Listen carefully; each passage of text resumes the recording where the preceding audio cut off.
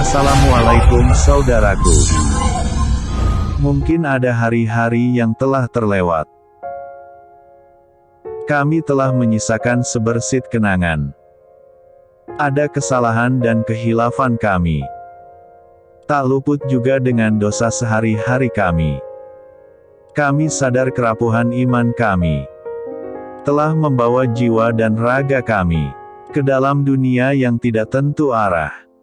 Di kesempatan ini, izinkanlah saya dan keluarga memohon maaf atas segala hilaf yang selama ini telah kami perbuat. Untuk perbuatan kami yang kurang berkenan di hati, serta kata-kata yang sering kali menyakiti, baik disengaja ataupun tidak.